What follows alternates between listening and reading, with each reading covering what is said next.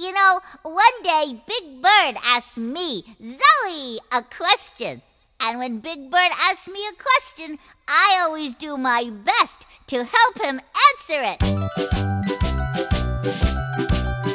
How do you get from here to there? What do you do? Well, if you want to cross the street, my friend, here's my advice to you. Simply use your feet and walk, but be sure to cross with care. And that is how you get from here to there. Use your feet. Here I am walking, Big Bird.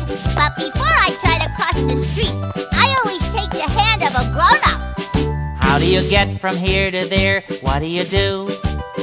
Well, if you want to ride to town, my friend, here's my advice to you. Simply hop aboard a bus, pay the driver man his fare, and that is how you get from here to there.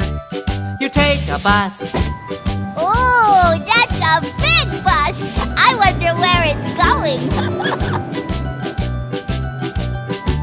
Do you get from here to there? What do you do?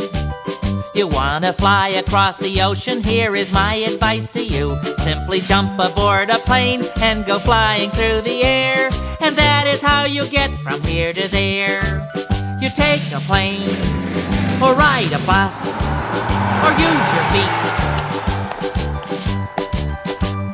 And that is how you get from here to there. I was on a plane, I bet I'd be on Sesame Street already.